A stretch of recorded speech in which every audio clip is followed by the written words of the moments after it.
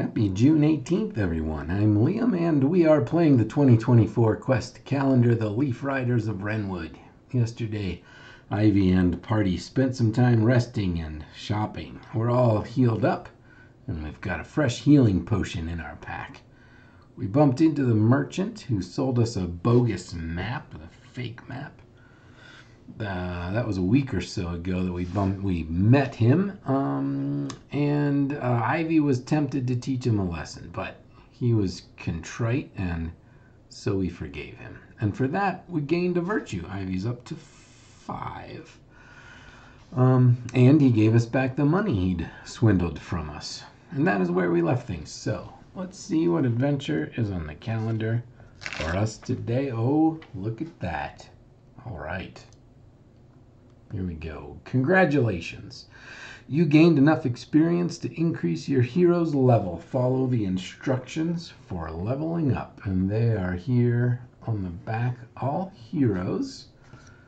Um, increase your hero's level to four. We're using the book that came with the Kickstarter, one of the pledge levels, and I'm just using Sil Black Bolt as a template. So um, let's see what we've got here. We are now level four, and you uh, you have two points to allocate however you choose uh, to increase any of your hero's traits. Strength, any of these over here. Strength, Dex, Constitution.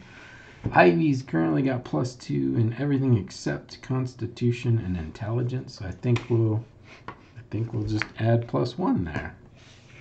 Um, so Constitution goes plus one, Intelligence plus one, Strength remains plus two, Dexterity plus two, Wisdom plus two, and charisma plus two. If we if we had a real party, uh, other care we might I might specialize. Um, but the way the party members work here, they just have a, really rare chance of actually uh, of adding a bonus to a roll or something. And so I've I've been just making Ivy more well-rounded because we're essentially a solo character here, and that that's what I'm going with. What else we got going on here? Um, so let's see down here. Sill, health plus four. Um, we have some items that add to our health. So Ivy was at 19. So add four, she goes up to 23. 23. Oh, that's not gonna. We'll just cross this off like we've been doing. 23 health. what else we got? Defense plus one. So our defense goes from plus six to plus seven.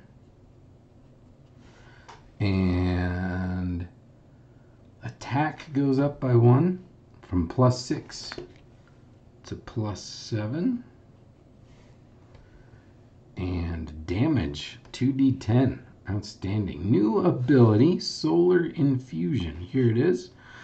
When using an item that requires a dice roll, gain a plus one to the result. An item that requires a dice roll. I guess that's, uh, I guess they mean like healing potions and whatnot. All the consumables. Because our item items, the equipment, those don't take die rolls, right? Yeah, they're just straight up bonuses. So I guess that's what that means. That's cool. And that's that's on that's there's no limit on using that. That's just a constant. That's excellent. So these things we've got so our healing potion restores D4 health. It'll be D4 plus 1. So 2 to 5 instead of 1 to 4. That's great. Uh, what else does she get? Healing Light can now be used twice per rest. Uh, restores D4 health. But that's not an item, so we don't, we don't get the plus there. Okay. I think I'm reading that right. That's excellent. Okay, well, there we go. I will transfer the rest of this over to the new page uh, off camera. Um, and that, my friends, is June 18th. So we shall say goodbye for now. Visit Ivy and friends again tomorrow. I hope you'll join us. Thanks for watching.